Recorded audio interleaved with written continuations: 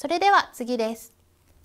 今年4月から魚町の旧長谷川邸は、旧長谷川次郎兵衛家に名前を変え、一般公開を開始しました。この展示内容についてご紹介します。松坂を代表する商家の一つである長谷川家の旧宅は、国の重要文化財に指定されています。これまで旧長谷川邸の名前で親しまれてきましたが、この4月から名前を旧長谷川次郎兵衛家に変更しました。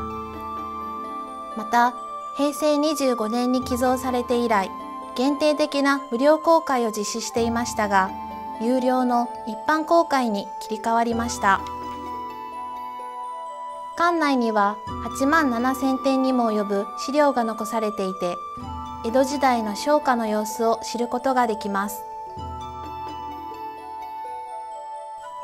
長谷川家を60分の1に縮尺した模型や商売繁盛を祈願するための行事恵比寿港を再現した部屋のほか2014年に発見された大判小判などを展示しています。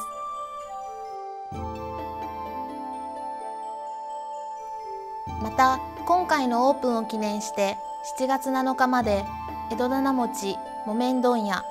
長谷川次郎兵衛家の歩みと題した特別企画展も開かれています。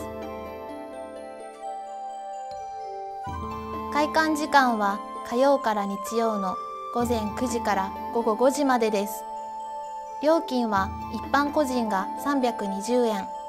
6歳以上18歳以下は160円となっています。